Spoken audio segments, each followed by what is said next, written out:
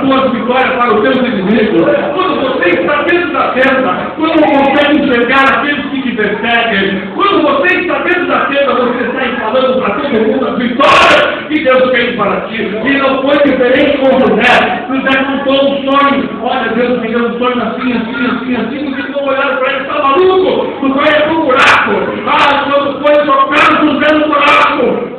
José no buraco, lá naquele buraco, Senhor, isso aqui não é lugar onde tu me mostrou, aqui não é o